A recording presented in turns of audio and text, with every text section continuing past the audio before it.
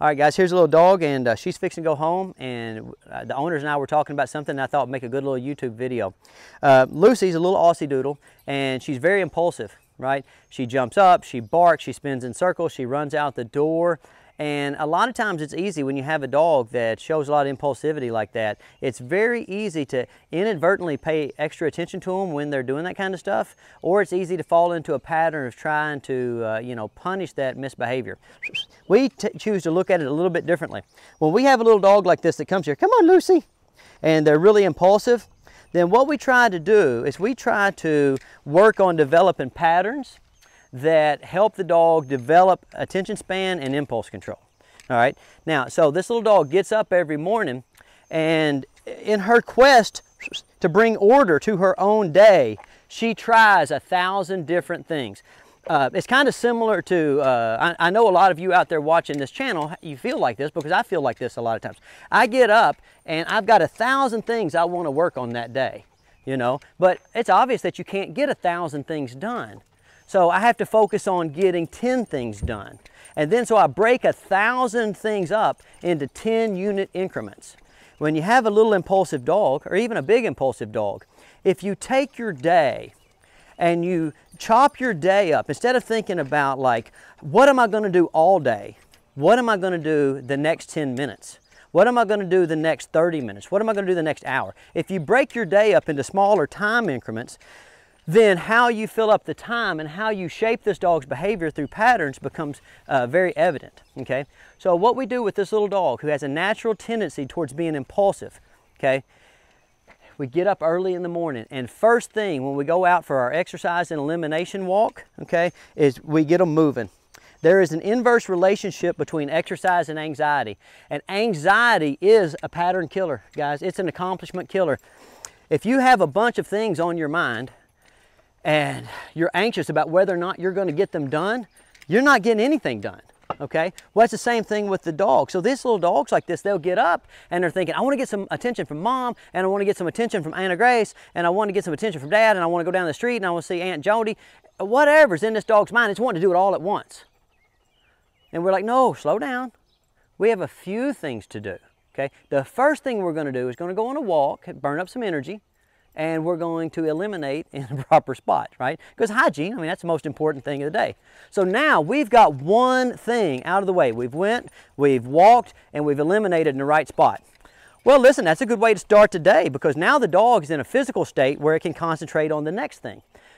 Dog gets up, you start trying to teach it something before it's had a chance to potty, not going to be successful. First thing, get up, exercise the dog, give it a chance to potty, give it a chance to settle. Right now, second thing we're going to do is we're going to, uh, like here at my kennel, we're going to work on our schoolwork. Okay, so we're going to come up here and we're going to do our book learning. We're going to work on our vocabulary, uh, uh, let's go, come, hup, easy, wait, and stay. And we're going to work on the development of our physical skills, right? I need a dog that uh, his mind and body are working in synergy together, okay? Because it's no good to have a lot of physical potential but not get a chance to realize that potential. Okay. Now, one of the things about realized potential is when a person is learning to realize potential, what does that really boil down to? It boils down to work ethic. So in the morning, we go out and we potty, then we come over here to do our book learning. Okay. That book learning is work. It's fun. I try to make it pretty fun. We're doing a lot of rewarding, a lot of petting and praising. Okay. But ultimately, this book learning is going to get done. Right now, it's 97 degrees and I'm burning up and this little dog's burning up, but we're going to get that work done. That's what we do here. We put that work in, okay? Now, here's the great thing about putting the work in. Putting the work in is a self-reinforcing habit, right? So once a dog gets in the habit of putting the work in, then what does it take to put in work? It takes impulse control and attention span. So now I'm able to come out here, I'm able to start in on this course, and what starts off is being real hard for the dog, like it has built-in intrinsic rewards. Like used to, getting up here on this thing, like just from Lucy's point of view, this was impossible. She would do it, I just really have to lavish the praise on her and really have to lavish the treats on her. But over the course of time, we started coming out here and the other dogs were doing it and Lucy started saying, hey, wait a minute, watch this. I can do it too. And I can do it just as good as the big dogs. I can do it just as good as the older dogs. That's that intrinsic uh, rewarding that I'm talking about. Like once the dogs understand that they can do something, then doing challenging things, physically and mentally demanding things, that's a lot of fun for a dog. So that's when we start not needing our hup hup, our treats so much, is because adherence to the pattern becomes self-reinforcing. Now, how does this directly relate, you know, being at home? Okay, so what does the dog want at home? It wants attention from its owners, and it likes to go visit with the neighbors down the street. In the beginning, Lucy would get up and that's dominating her mind. She has all these things that she wants to do. She wants to go to see the neighbors, and she wants to go chase the squirrels, and she wants to get attention from mom and dad. Now, what we've done is taken and putting the, we're starting to put, like, we're starting to give her the ability to put things in an order and to approach them in a systematic fashion. So here at my kennel, we get up, we go potty. Then we come to the small challenges course. And while we're on the small challenges course, we're doing our vocabulary work and our uh, physical skills development. Okay, but what's really going on, okay, is we're teaching the dogs to have impulse control and have a good attention span. Having a good impulse control and a good attention span is the key to unlocking one's potential. So this little dog, who's perfectly capable of being an awesome house dog, Okay, I mean, just a great house dog. She's, she's perfectly capable of being a little adventure dog. She's very fast, she's very smart, she's very sure-footed, but she was so impulsive that you couldn't even leave the door open because she would run out and get in the street, much less go on a hike down by the river and let her off the leash because she would run away because she was trying to get to everything at once. We bring her up here, we say, let's do the first thing, let's go potty. Let's do the second thing, let's go to school. Let's do the third thing, let's wait for long periods of time and let everybody else get their schooling out of the way, okay? And now, once we've done all that, now Lucy can be free to go do what Lucy wants, which in this 97 degree weather, okay babies, is just gonna be to go get in the shade, right? Okay? And that's it. That's my best tip for dealing with little impulsive dogs that like to chase and bark and carry on, right? Give them a pattern, teach them to have work ethic, teach them about impulse control, teach them about how that their uh, adherence to what's expected of them leads to getting to do the things that they want to do.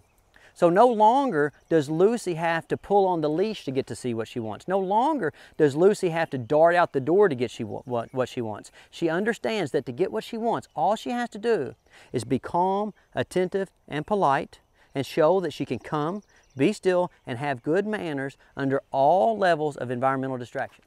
All right, now we'll take a look at Ruby. Same thing. Ruby's a great dog. Uh, just uh, didn't have a very well developed attention span, didn't have much in the way impulse control, and had fallen into a pattern of negative attention seeking. Okay, and it's, it's guys, it's perfectly understandable why dogs fall into patterns of negative attention seeking because it works right? You know, if Ruby grabs your underwear and takes off running through the house, you pretty much got to pay attention to her, don't you? You know? So all we do is we come up here and we say, look, we know that there are some things that seem very natural as it relates to getting attention. Uh, but those don't work up here, and there's no reason to do that. There's no reason to be frustrated. There's no reason to negative attention seek. All you have to come in, all you have to do is come out, out, out, out of the kennel every day and show us that you're willing to do a little bit of work. And once you start to make the dogs realize that work is self-reinforcing, that work leads to all the stuff that they want, then instead of like negative attention seeking, you know, then what they start doing is they start to realize, well, hey, look, you know, if I'll just go out there and I'll put a little work in with Stonnie, I'll do a little climbing, a little jumping, a little running, a little balancing, then I'm going to get access to everything that I want. Well, that makes it, you know, it, it, it makes it the obvious choice, you know a dog will take negative attention over no attention. Nobody wants to be ignored. But a dog will take positive attention over negative attention pretty much every time. You can go over that way a little bit. and so that's all you got to think, guys. When you have these dogs that when you get up in the morning, they start in jumping, barking, you know, darting out the door, uh, uh tearing stuff up, all you have to remember is that that's their way of getting through the day. And as soon as you throw, show them a more efficient way to get access to what they want, then they'll choose it, right? And they'll choose it at first because of the extrinsic motivation, right? You know, you take them outside and you get them to do something and you load them up on the rewards. You know, you're playing fetch with them, you're petting and praising them, you're giving them treats, all that stuff. But pretty soon, okay, adherence to those patterns and conquering those environmental impediments become self-reinforcing to the dog. And the dog likes to do them just because the dog likes to do hard stuff, like we all like to do hard stuff. And then after you've got that knocked out, then you say, hey, listen, you get off work. So going to work's fun if you have a good job that's mentally and physically demanding. But if you work too long, well, then kind of starts to drag on, right? So just always keep that in mind with your dog. You take them out, make sure that you explore the world, and in that exploration, you do a little education. You need to make basic vocabulary. The dog needs to develop uh, basic physical skills, and then show them how the expression of their basic skills translates into access to what they want, which in the short run is treats, petting, praise, tugging, stuff like that. Okay, and in the long run, they get off work, okay, and they can do whatever they want to do. All right, I'll see y'all next week.